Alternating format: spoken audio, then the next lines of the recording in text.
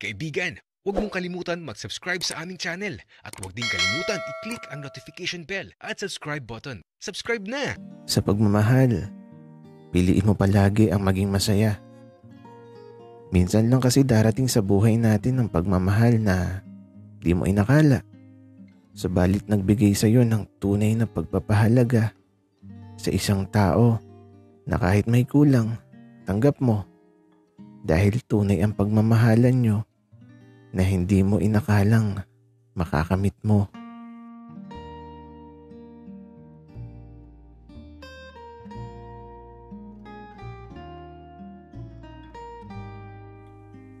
Gabi na naman. Maraming bituin sa langit ngayon. Sobrang ganda.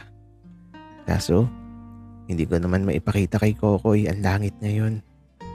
Kasi, di rin naman niya ito makikita kahit sabihin ko na sobrang ganda ng langit ngayong gabi.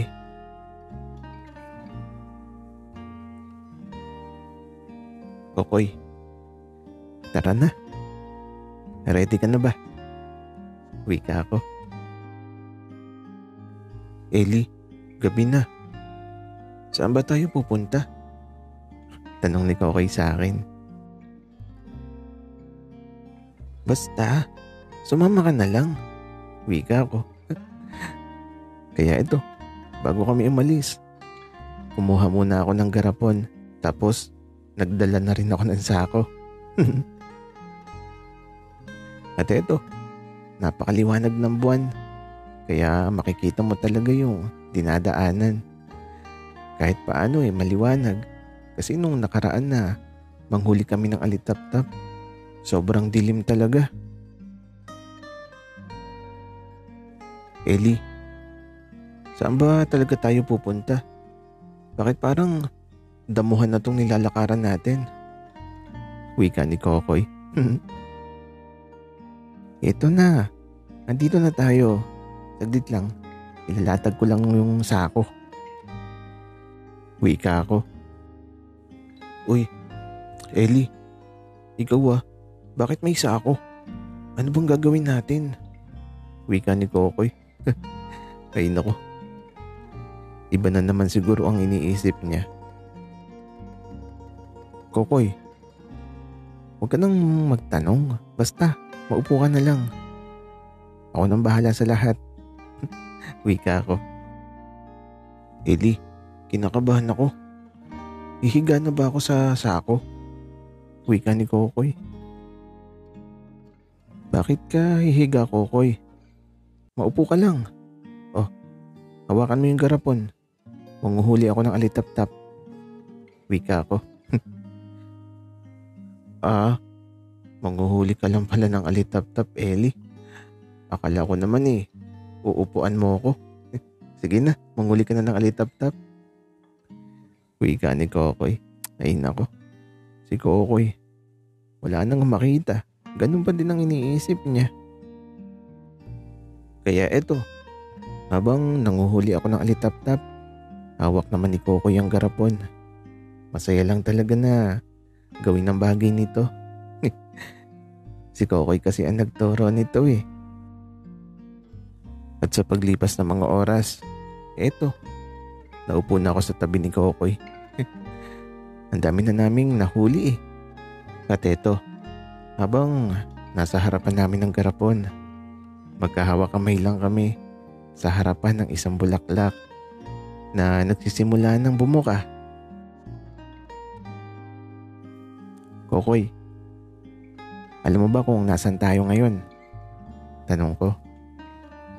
Ah, doon sa pinuntahan natin. Noong unang beses na nanghuli tayo ng mga alitap-tap. Wika ni Kokoy. Wow, ang galing mo naman. Pero alam mo ba, may bulaklak ulit yung engkandada dito. Pabuka na oh, malapit na. Wika ako. Talaga ba, Eli? Sige, ihiling ako mamaya kapag nakabuka na yan. Wika ni Kokoy. Ah, ako din. Hihiling din ako, Kokoy. Wika ako naman. Anong hihilingin mo, Ellie? Pwede ko bang malaman? Wika ni Kokoy. Oo naman, pwedeng pwede. Alam mo kasi, Kokoy, gusto ko lang naman sana na maging masaya kasama ka. Tapos sana makakita ka na ulit. Yun lang, okay na ako dun. Wika ako. Ako naman, Ellie. Sana makita mo na ang nanay mo. Yun lang ang hihilingin ko. Kasi masaya na ako ngayon eh. Kahit di ako nakakakita. Ang mahalaga eh, magkasama tayong dalawa. Wika ni Kokoy kaya ito. Di ko napigilan na yakapin si Kokoy. At habang naghihintay kami sa pagbuka ng bulaklak, nagkukwentuhan lang kami. Kaso si Kokoy, lumuluha na naman siya. Kokoy, bakit ka naiyak? Tanong ko. Hindi ako naiyak, Ellie. Ano ka ba? Walang dahilan para umiyak kasi masayang masaya ako, promise. At saka, di ko alam kung bakit naluha ang mga mata ko. Wika ni Kokoy. Sa itsura ni Kokoy, mukhang masaya naman siya. Pero bakit ba nagluluha yung mga mata niya? Kaso, bago ko isipin ang bagay na yun, eto na. Humahalimuyak na ang napakabangong bulaklak. Kaya naman, nagsimula na akong humiling. Sinabi ko na ang gusto kong mangyari. At si Kokoy naman ito, mukhang seryoso din siya sa hiniling niya. Kaya naman, hinayaan ko lang si Kokoy. At matapos humiling sa bulaklak, eto na. Masaya kami nag-uusap na tila ba Kasama sa usapan namin ang bulaklak ng engkantada. Pero nagtataka talaga ako. Kasi bakit ba luha ng luha ang mga mata ni Kokoy? Malungkot ba siya? Pero masaya naman kami. Ang naiisip ko lang, baka pagod na yung mga mata ni Kokoy. Kaya naluluha. Kaya eto, nagaya na ako pa uwi. Eli, bubuhatin kita. Wika ni Kokoy. Ayoko, Kokoy. Baka mamaya eh, madapa ka. E di, bangas tayo pareho. Wika ako. Promise, Eli. Di ako madadapa. Dali na, please. Wika ni Kokoy. Ay nako. Kaya ito, wala naman akong nagawa. Sumakay na ako sa likod ni Kokoy. At eto, sinasabi ko kung saan yung daan. Kinakabahan talaga ako habang nakasakay ako sa likod ni Kokoy. Kasi kapag talaga nadapa siya, nako. Sugatan talaga kaming dalawa. Kasi batuhan yung babagsakan namin. At sa wakas, nung makarating na kami sa bahay ng lolo niya, kahit paano ay nakahinga na ako ng maluwag. Nakakakaba kasi talaga. Ang kulit kasi ni Kokoy eh. Eli, bukas ulit ha.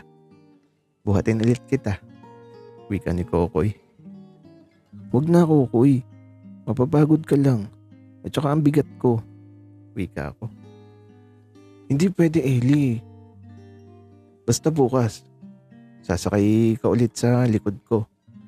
Tapos sa ilog naman tayo pupunta. Uy ka ni Kokoy. Ay nako, ang kulit talaga. Kokoy, tara na. Mahiga na tayo, ating gabi na. Uwi ka ako. Kaya ito, nahiga na kami ni Kokoy. At yung mga alitap-tap sa garapon, eto, pinakawalan ko na sa loob ng kulambo. Ang cute. Sana nakikita din ito ni Kokoy kasi sobrang ganda talaga.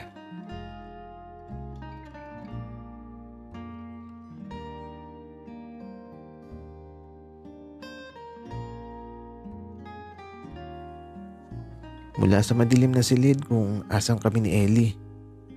Eto, nakatulog agad si Ellie.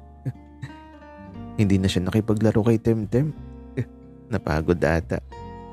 At ako eto, nakahiga. Madilim lang ang nakikita ko. Tapos eto, nakikita ko yung mga alitap-tap. Siguro, imagination ko lang to. Imposible naman kasi na makita ko ang mga alitap-tap na to. Parang totoong nakikita ko kasi. Siguro, alaala ko lang ang mga ito. May dumapo pa nga sa kamay ko eh. Kaya ito, tinitigan ko. Ewan ko ba, parang totoong nakikita ko ang mga alitap-tap. O baka panaginip lang.